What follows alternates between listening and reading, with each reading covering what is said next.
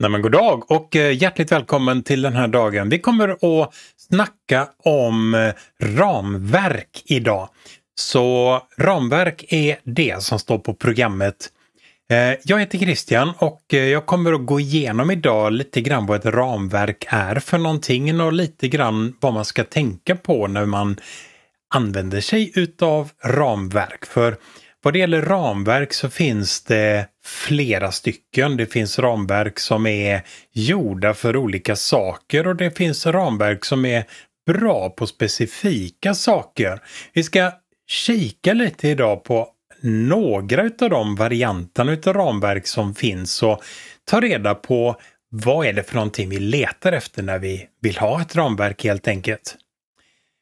Kommer att bli en eh, teorigenomgång så att säga till att börja med och sen så kommer vi att titta lite mer specifikt på några olika utav de här ramverken som är bra att kunna ha sett i alla fall. Så ungefär det där kommer det att eh, handla om idag. Kommer det helt sonika att prata om ramverk i HTML under den här dagen. Lämplig fråga att kanske börja ställa sig ungefär omkring nu är ju naturligtvis vad är ett ramverk för någonting? Det kan ju vara en bra fråga att fastställa redan från början.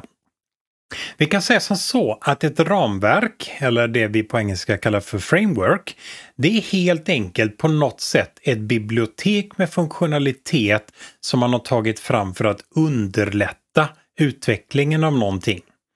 Det finns massvis med olika typer av ramverk och eh, vissa ramverk används till vissa saker och vissa ramverk används till andra saker. Ramverk är, skulle man kunna säga, ett av alla tänkbara design patterns som finns. Det vill säga någonting som någon har gjort för att underlätta för mig som utvecklare av något. Vi kan väl ta och börja kika lite grann på en av de största klumparna vad det gäller ramverk. MVC. MVC är ett ramverk som vi kan använda oss av när vi ska utveckla programvara exempelvis. MVC är ett ramverk. MVC är en designmodell som består av att vi har tre komponenter. Vi har MVC, Model, View, Controller. Om vi börjar med model. En model representerar den data som finns. En model kan exempelvis vara en klass, det kan vara en databas, på något sätt i alla fall den dataklumpen som vi vill på något sätt få fram. Tänk databas, jag tycker själv i alla fall att det är lättast att tänka på det sättet. Nästa bokstav, V, View. View är det vi ser. Model ser till att utifrån model så får vi en view. View är det vi ser på skärmen. View är alla de här grejerna som kan till exempel finnas exempelvis på en webbsida. View är det vi ser. Sista bokstaven C. C står för controller. Kontrollen i det här är all logik som ligger bakom och kontrollerar det som landar på skärmen så att säga. Ramverket MVC bygger på Model, View och Controller. Model representerar dataklumpen, exempelvis informationen lagrad i en databas.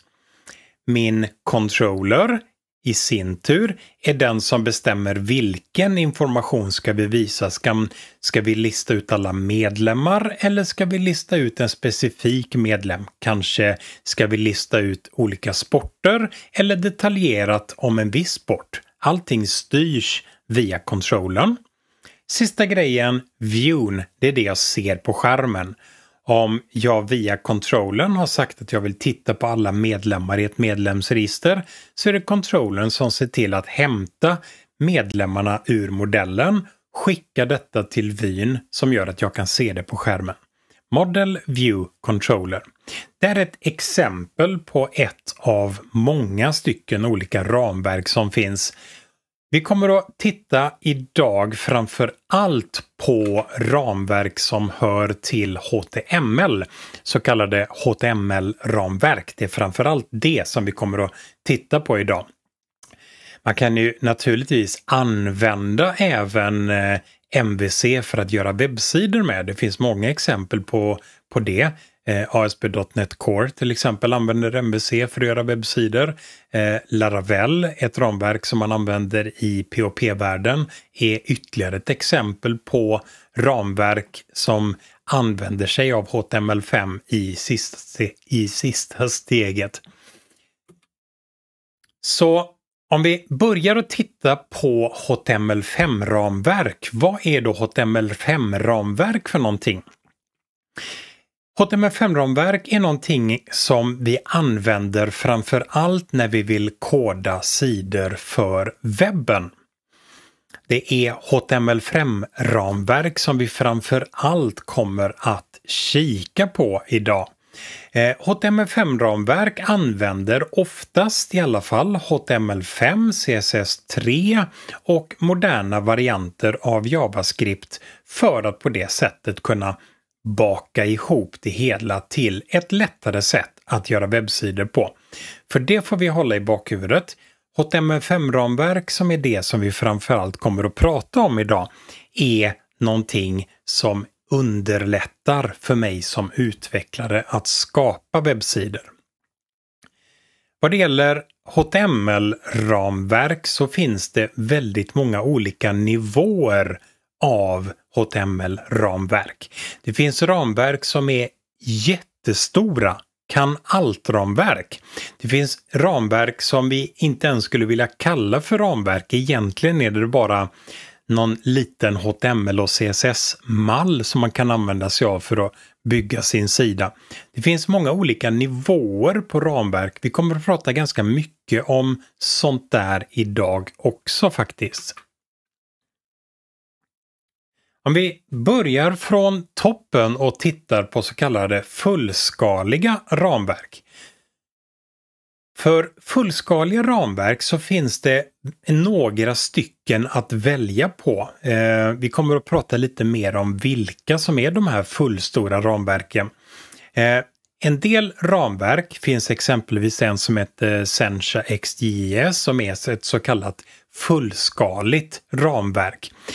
De är väldigt duktiga på allt skulle man kunna säga. De innehåller så fruktansvärt mycket komponenter att de kan verkligen användas till precis allting.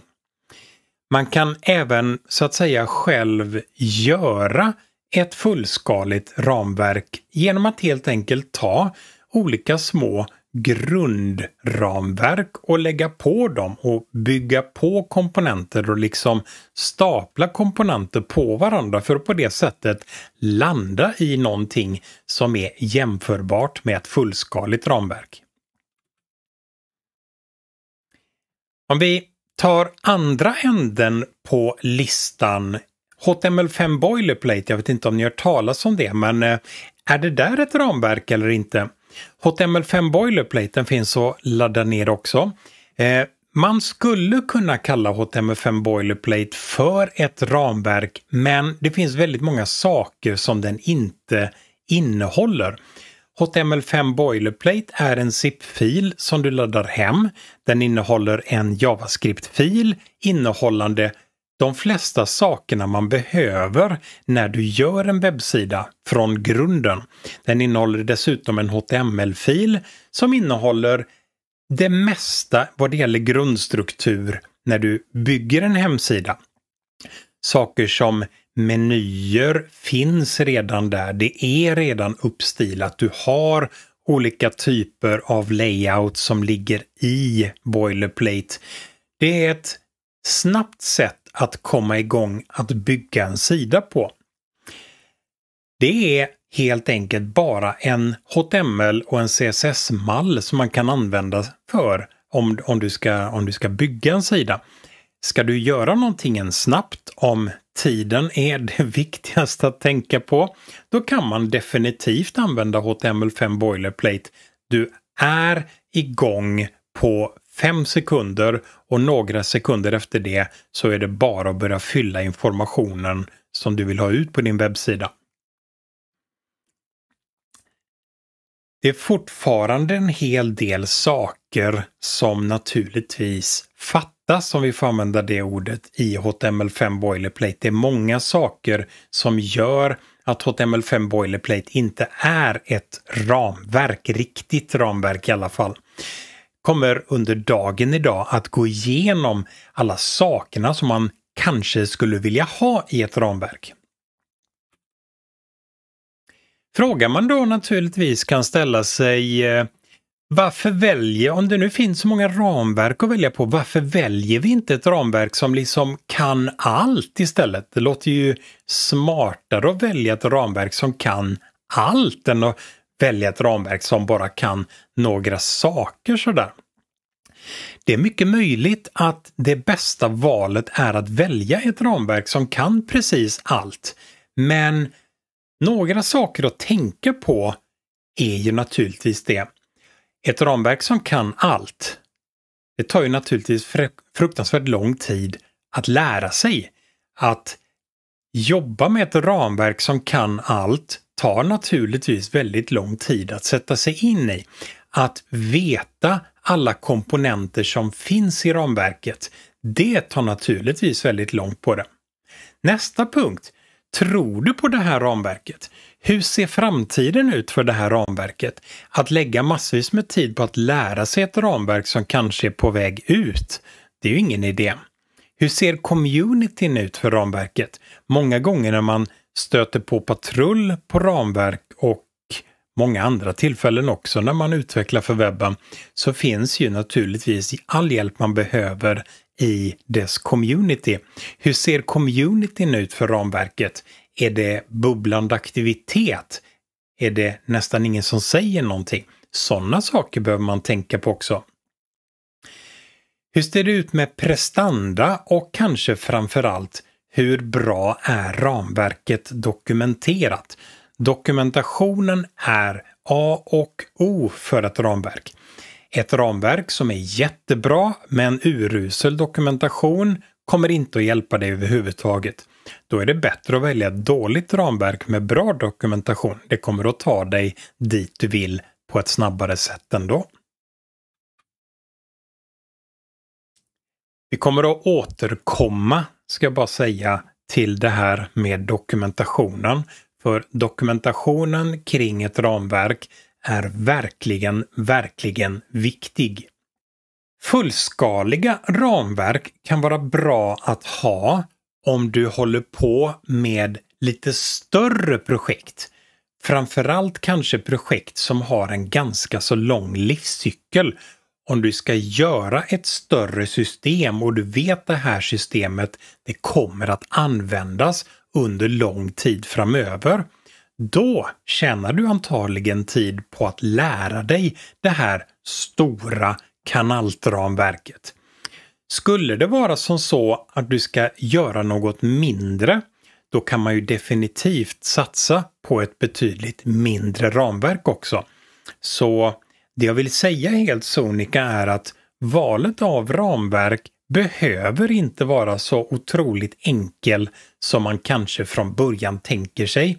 En del ramverk är fruktansvärt bra, men inte i den här situationen. En del ramverk å andra sidan fungerar väldigt bra i mindre projekt som har en kanske en kortare livscykel och så vidare och de är inte alls lämpliga att använda sig av i ett större projekt. Det här var en början i alla fall till ramverk. Vi fortsätter om en liten stund.